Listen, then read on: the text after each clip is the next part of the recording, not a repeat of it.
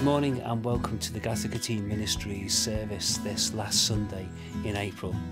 The church doors may be shut, but the church is open and we've got lots happening in our programme and service this morning. So, this is what we've got to look forward to.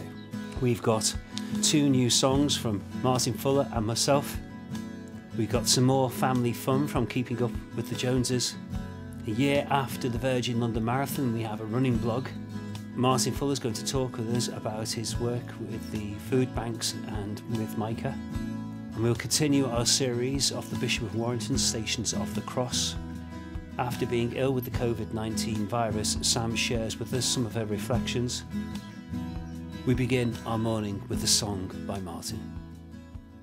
Hi everyone, uh, I've got another song that I've written uh, to share with you. Um, basically, this is called uh, You Reign, and it's just about how uh, God reigns in our lives and how uh, we make that choice as to whether we want that to happen. Um, as a Christian, you you start off by by making that choice as, as to whether you want to follow God.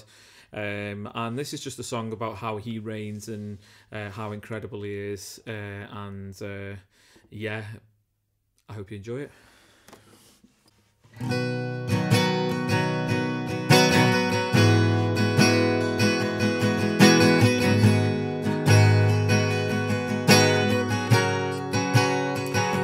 Choices made. I have been saved because of your amazing grace. Lift your name high above because you reign. Lord, you reign. I was lost now I'm found. You bore the cross, and you wear a crown. Now my debts, they have been paid, cause you're alive,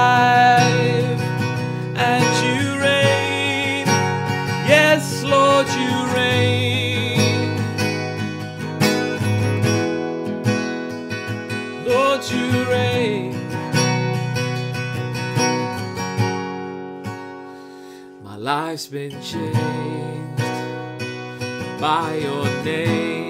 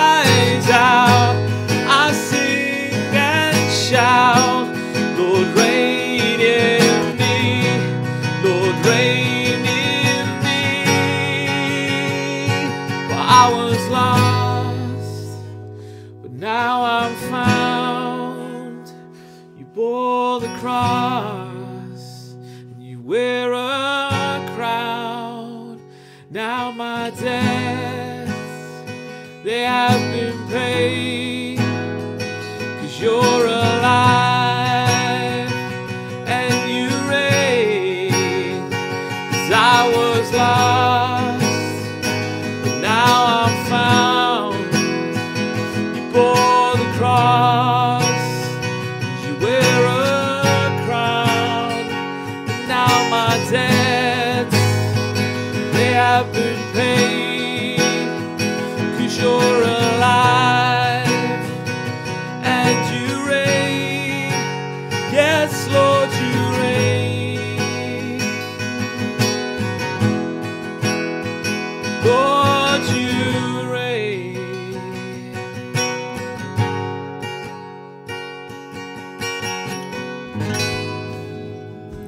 some more family fun with keeping up with the Joneses. There go!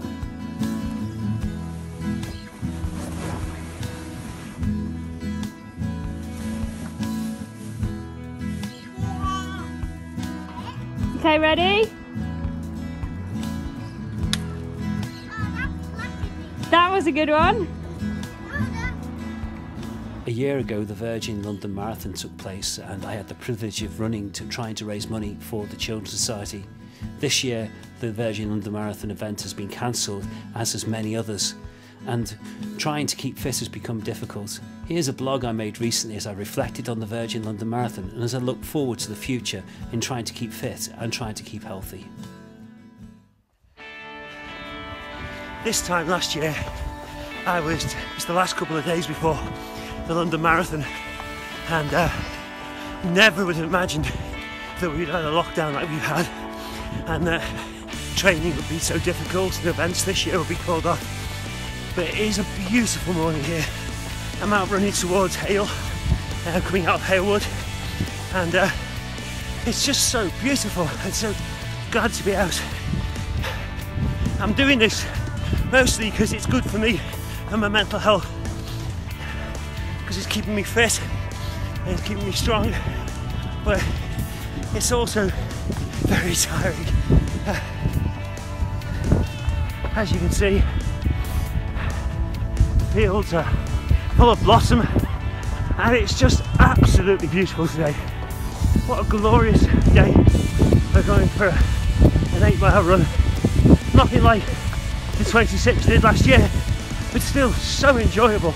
Where did this desire to run come from? I wasn't a natural sports person at school, but I was challenged in my early 20s by watching an 84 year old complete the London Marathon.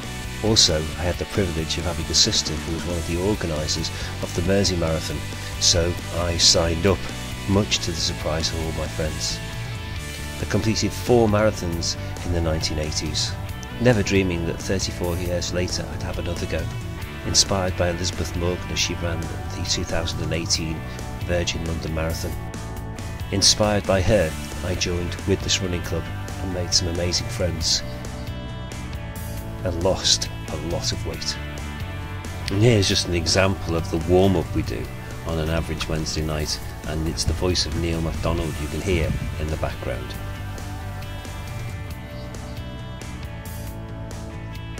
In this current lockdown, I miss my friends at the Widnes Running Club very much, and as you can see, it is great fun training with them on a Wednesday night. Like Morecambe wise down the track.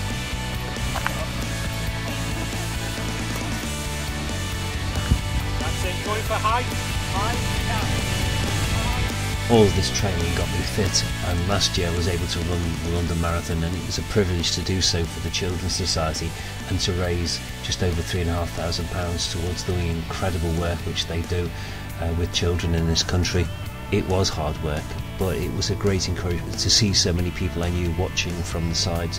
Still, I was delighted to get to the end, and I was thrilled to discover the BBC captured me crossing the line.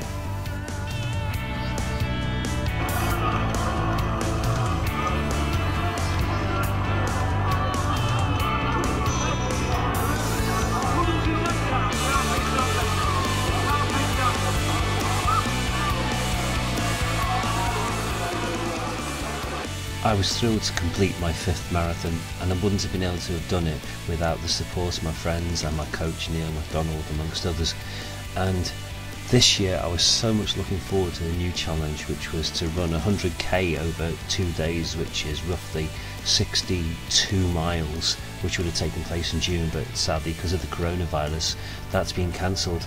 Still, I've had the privilege of running with Sam as she's come to work with me and also the privilege of running with my friend Zoe, who I would have run the event with. Now it's something I have to look forward to next year. Well, here I am at the end of my eight mile run, and I'm just approaching the church, and I'm running across the field. And you can see the blossoms out. It's absolutely beautiful. Ah, and the church is right in front of me. I must admit, I'm quite glad to be back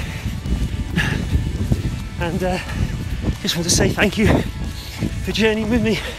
Remember, whilst you're isolated, to keep fit, keep safe, and don't forget to keep praying because God will get us through this. Uh, see you on Sunday. Now we'll have Martin Fuller sharing with us some of his thoughts on his work. Hi everyone and welcome to a week with the Micah driver. So over the next few weeks we're going to be looking at my job role, what that entails from a Monday to a Friday. We're going to be following me around collecting food and dropping it off for people who are in need. So I hope you enjoy the ride.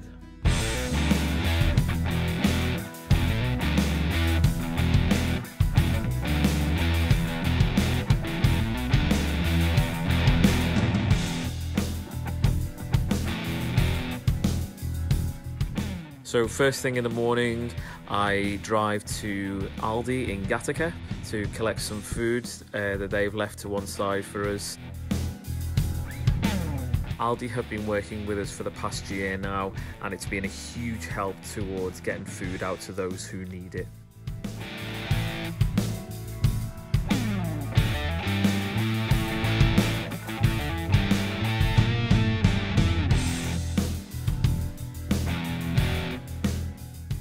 When the food is collected, I'll take it into the storeroom to be sorted out, and this will be divided between uh, our two food banks, which run on a Tuesday and a Thursday.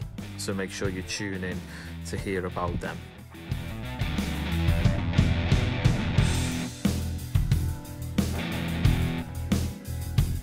Once I'm at the storeroom and I've uh, dropped all the food from Aldi off, I uh, then take the van and go and do my daily collections. Usually, people phone into our office to pass information on of any food that needs collecting, any financial donations that need collecting as well. So, I will on the Monday go and collect those things.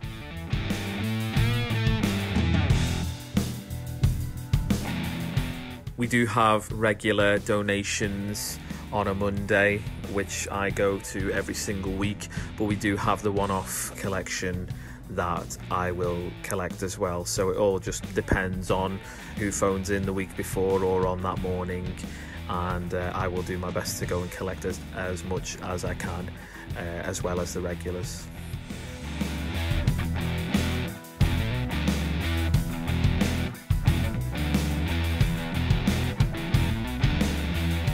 One of my regular collections on a Monday is from an organisation called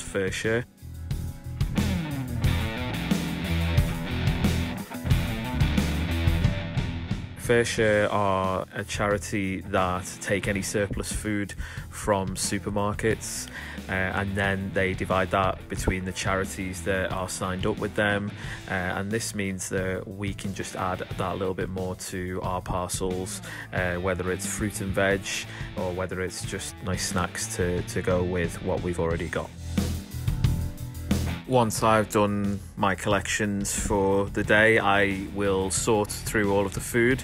The food gets sorted into different categories from sweet products like biscuits to uh, tinned fish, uh, some sauces or tinned tomatoes, uh, pasta, uh, dried goods such as noodles. And these are all the things that go into the food bank parcel that we give out to a person. So that's Monday over and done with. Hope you enjoyed following me around in the van. Uh, I hope to see you next week for Tuesday.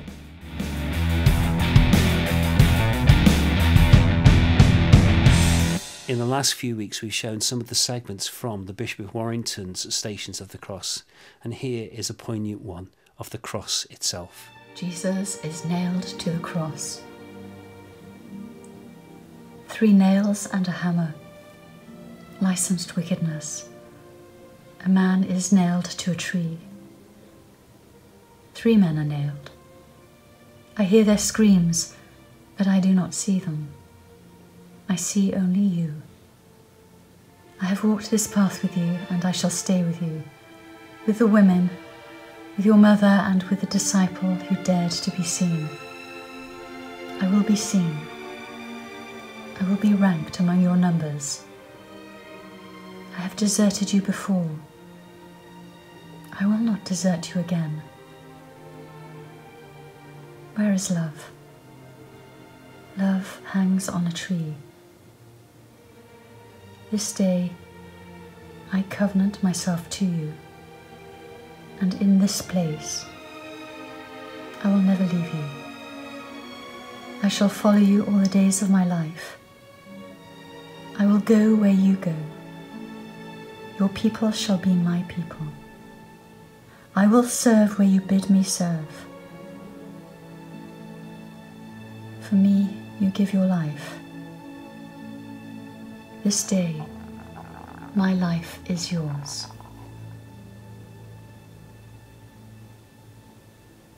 Holy God, holy and mighty, holy immortal one, have mercy on us.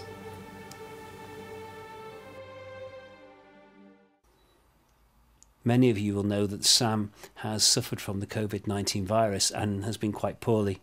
Uh, on Easter Day, she managed to preach uh, from effectively her sickbed. Well, the good news is she's starting to improve and managed to get out for the first time since her infection started. And here's some of her reflections. So, this is the first time in two weeks that I've been able to, to leave the house and, and, and go for a walk. And I've, I've come to one of my favourite parks um, in isolation, of course, to um, to just really get some fresh air. And, and it's been great to be able to do that. And on, on this blog, I, I kind of wanted to say two things really. And the first, the first one is, is that I'm very thankful and grateful that I've, I've recovered um, this far and, and, and I feel so much better. And um, you know, I'm, I'm really grateful for for everyone who's really prayed for me and, and supported me during this time. And a second reason is because I really want to to encourage everyone and one of the things that I want to I want to really talk about is the last seven months um, of me being in a place where I've been and and I guess the best way for me to do this is is to kind of start off by saying that I really wanted to kind of mark the occasion by um, by starting a new chapter. And so it's very controversial. Um, but one of the things I did was I went and got a, a tattoo. Um, everyone's got their own views on that. I'm, I'm well aware. But um, I, I got my tattoo on my wrist because I wanted it to be an outward sign where people could um, could ask me about it and and, you know where it'll be a focal point. So before I go any further I'm going to show you the tattoo which I'm pretty sure once you see it you're going to know where I'm going with this talk. So here it is.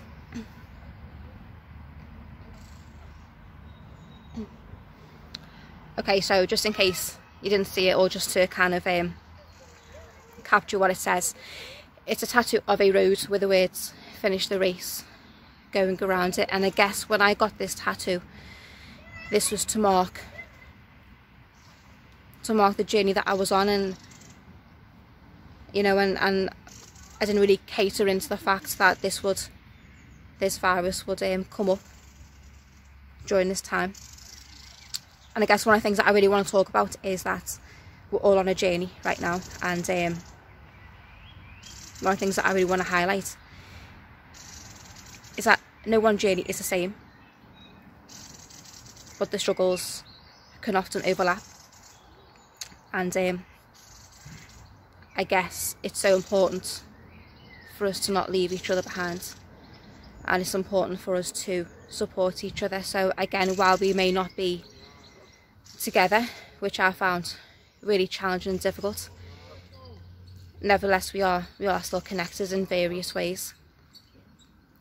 And that journey can only be made more bearable, more possible, to know that we're not alone. And so whatever journey you're on right now, whatever road you're on, whether it's an upwards an upwards hill or you're in a valley where you, you can't really seem to get out of right now. I just want to kind of encourage you all to to just take the steps. You know, it's not about who finishes first, it's not about who's the fastest. Um, something again I've struggled with. But um, but it's about finishing. You know, and, and, and it's about getting to that finish line and that might not be tomorrow or next month. But the finish line is in sight regardless of where of where you are right now and regardless of where we are collectively. So I guess I guess right now, as we go into another week, with that little bit further along that road, with that little bit further of our footsteps, and with that little bit further of being back together again. So take the encouragement, be together, and um, never leave each other behind. One of the things I've taken for granted at St Stephen's over the years is playing with such wonderful musicians as we have in church. And uh, when you want to write a new song that's full of praise, you immediately think of Patrick on the drums, uh, Martin uh, playing guitar, Simon on guitar, all the singers, Dan playing piano. But obviously, because of the lockdown, that's not been possible. And I wanted to share with you a praise song this morning called I Want to Praise You. Um, obviously it's difficult to play a, such a song on my own. So I've put this together using uh, my 8 track recorder. So I hope you'll bear with me um, as we as I go through this. But this is my offering to God this Sunday. And I'd be delighted if as you pick it up you join in with me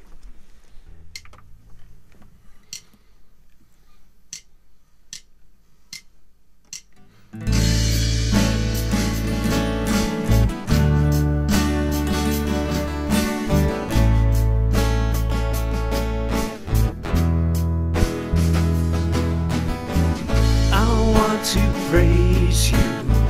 I want to praise you. I want to praise you.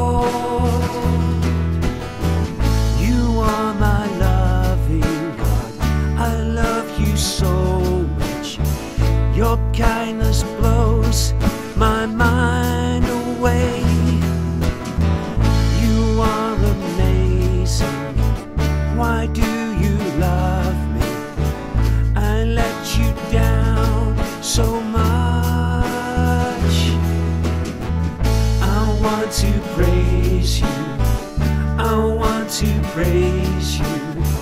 I want to praise you forever and a day. I want to shout it out. I want to cry aloud. I want to scream and say, You are good, you are good, you are good, you are good, you are good, you are good. You are good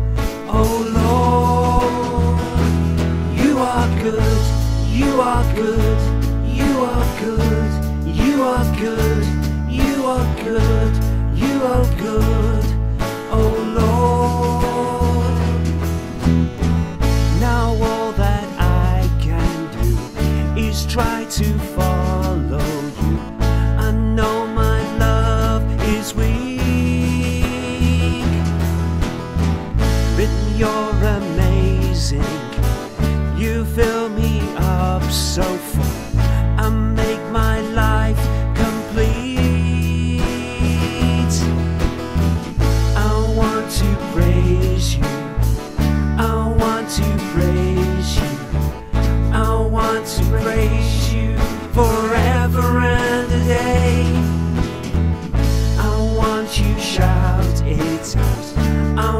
to cry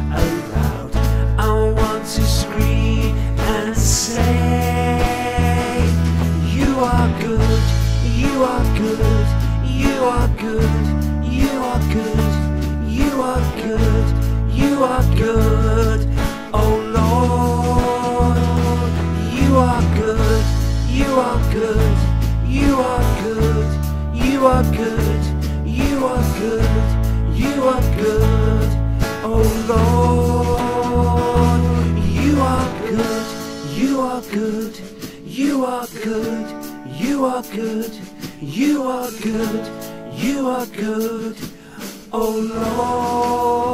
Lord. You are good, you are good, you are good, you are good, you are good, you are good, oh Lord. You are good, you are good, you are good, you are good, you are good, you are good, oh Lord. You are good, you are good, you are good, you are good, you are good, you are good, oh Lord. You are good. And now we'll begin our simple service. Jonah and the Whale by Andrew McDonough. This is the great city of Nineveh. From a distance, it looks like a nice place to visit. But when you reach the front door, it doesn't seem quite so friendly.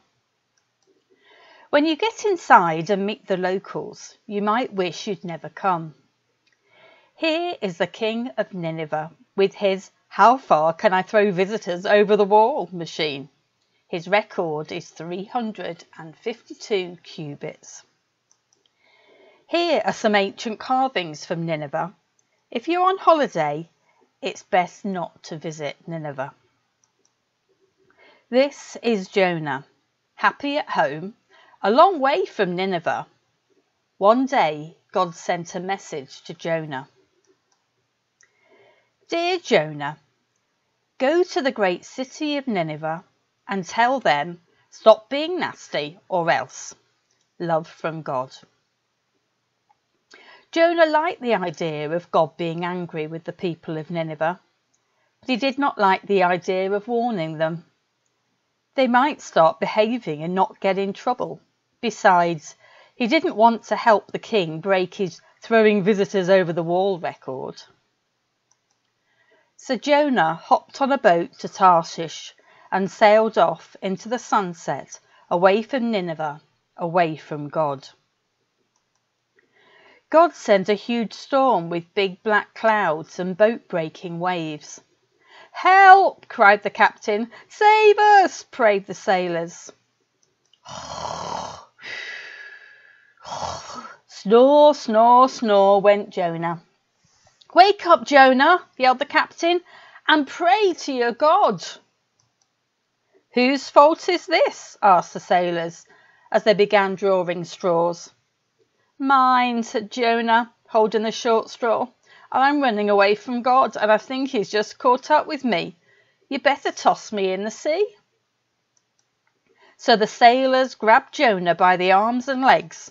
One, two, three, splash, and the storm stopped. But God sent a whale to swallow Jonah. For three days and three nights, Jonah was inside the whale. It was too dark to read. Besides, he didn't have a book. He couldn't watch television because he didn't have a television. So Jonah prayed. Thanks, God, for saving me. I'll do what you ask. Then the whale swam up to the beach and bleh, out popped Jonah. God sent a message to Jonah a second time. Dear Jonah, did you have a nice trip? I hope you had a whale of a time. Now go to Nineveh and tell them, stop being nasty or else. Love from God. Jonah knocked on the front door of Nineveh. It opened and in he marched. Stop being nasty or else, yelled Jonah. God says, Stop being nasty or else. When the king heard Jonah, he realized that while he enjoyed throwing visitors over the wall, it was not fun for the visitors. So the king stopped being nasty, put on his I'm sorry clothes, and asked God to forgive him. Everyone in Nineveh did the same. Here are some more ancient carvings. But meanwhile, Jonah was furious. There wasn't going to be an or else, so he stormed out of Nineveh. Jonah sat outside the city and fumed. God grew a bush to shade Jonah. Jonah was happy about the bush. The next day, God sent a worm to munch on the bush. Jonah was angry at the worm. He was also angry at Nineveh and angry at God. Then God sent another message to Jonah. Dear Jonah, hot enough for you? You care about the bush that gave you shade. Well, I care about the people the girls and boys and the animals in Nineveh. Shouldn't you? Lots of love, God. Wow. Our reading this morning is from John 21, verses 15 to 19. Jesus reinstates Peter. When they had finished eating, Jesus said to Simon Peter, Simon, son of John, do you love me more than these?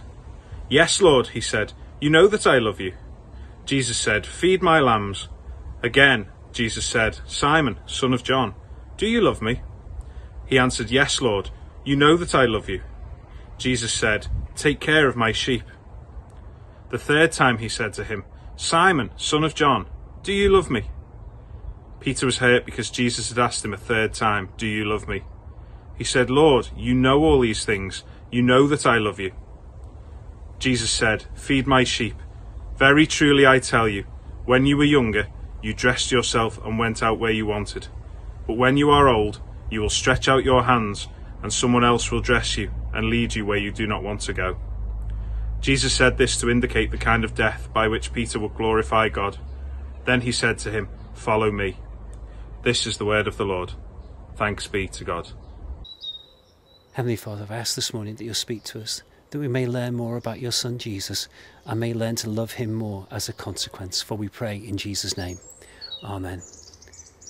The reading we've just had spoke of an encounter that Peter had with Jesus on the shore of Lake Galilee.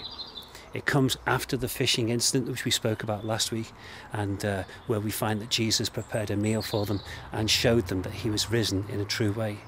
Now came that embarrassing moment where Peter and Jesus had to talk about the difficulties they'd had. The Bible never dodges difficult moments.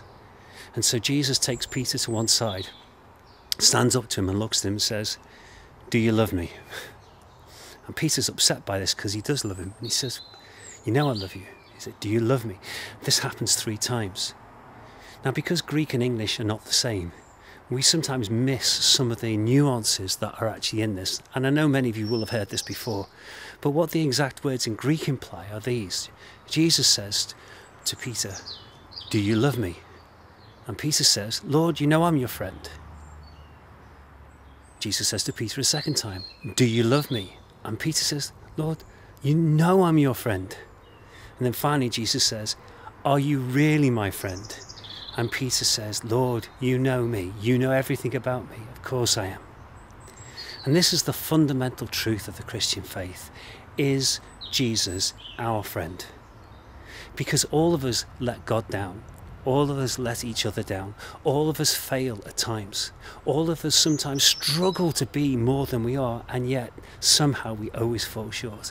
And yet, through it all, God looks down at us and loves us and forgives us we saw in one of those reflections on the cross from the Bishop of Warrington a few moments ago, Jesus being nailed on a cross, dying for you and me.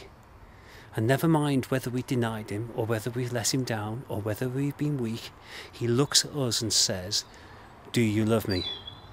And Peter, in this moment, was absolutely honest. And this is the challenge for all of us to be absolutely honest with God.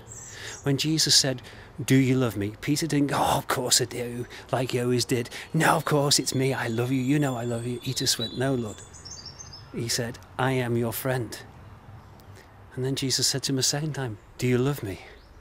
Now I know if I was to do that in some of the relationships I'm in, if I was to speak to Jane and keep questioning her daily about whether she loves me, I would upset her. But in this instance, Jesus knew that Peter had let him down. But worst of all, Peter knew he'd let Jesus down by denying him.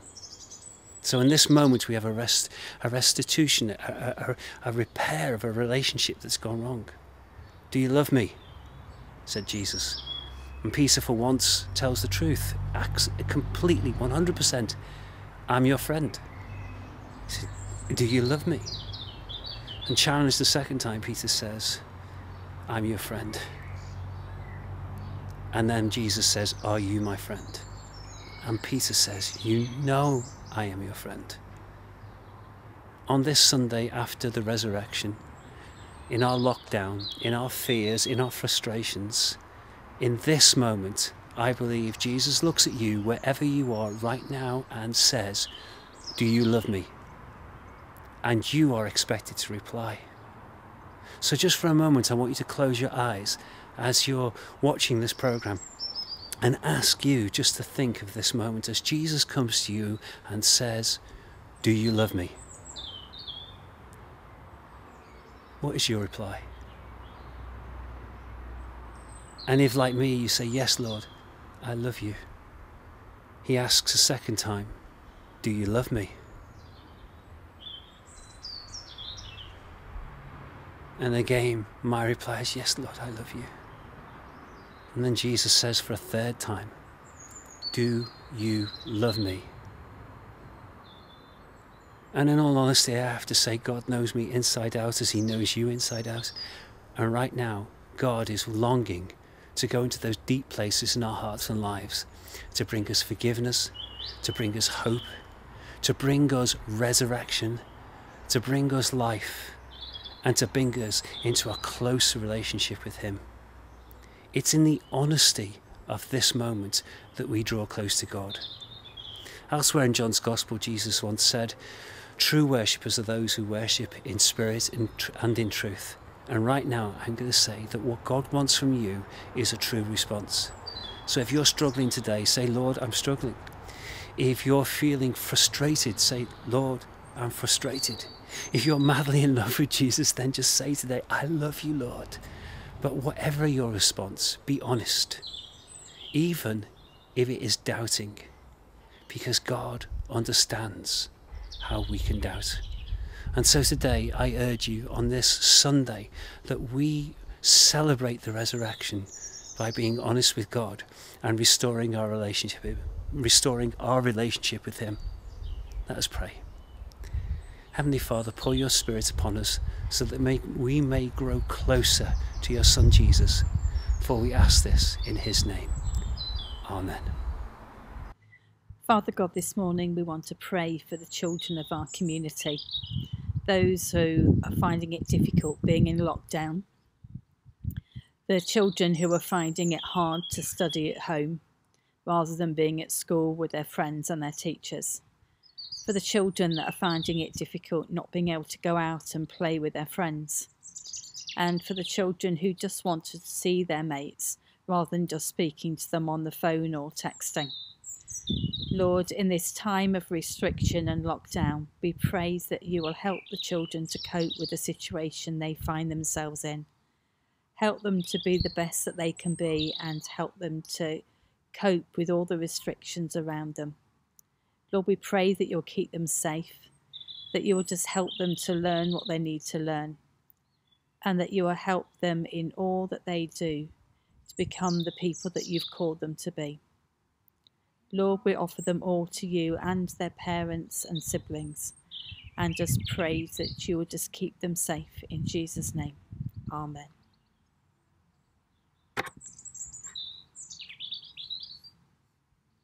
To God, Please let the wind calm down, let the flowers grow up, let the sunlight be calm, and let all the family be nice and kind to the kids.